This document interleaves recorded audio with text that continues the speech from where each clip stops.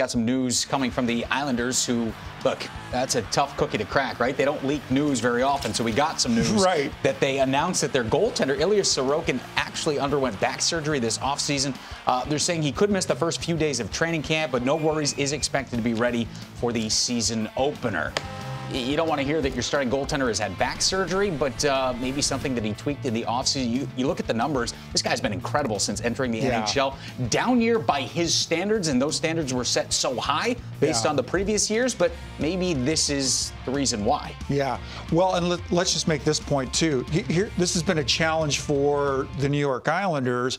Um, they've lacked that offensive punch to really, you know, boost them into the upper echelon of the Metro standings always been a pretty solid defensive team, but it's been the goaltending has been a linchpin for this group. He and Varlamov together have been, um, you know, one of the better two goalie tandems, but certainly Sorokin, his body of work over that period of time speaks for for itself. So to be without him, um, without without a healthy Sorokin, I think would be a, a key concern for these New York Islanders. But here again, the details are scant.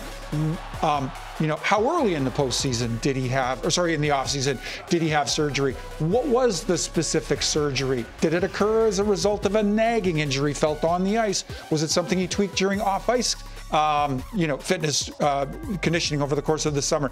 A lot of kind of open questions, mm-hmm. not a lot of specificity. So um, hard to you know hard to speculate without. That goes hand in hand with Lou Lamoriello. So a lot of those details we don't 100%. have and we're not going to get. we're never going to get. Yes. But uh, a lot remains to be seen as training camps open, open and is Sorokin a part of the mix or um, is he further along in rehab? Remains to be seen.